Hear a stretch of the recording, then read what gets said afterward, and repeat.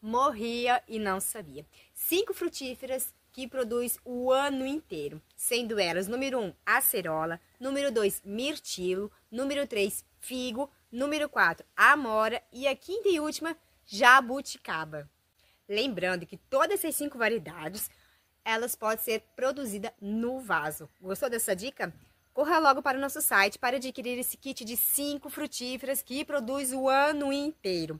Clique aqui embaixo para saber mais. Lembrando que também tem opções de frete grátis.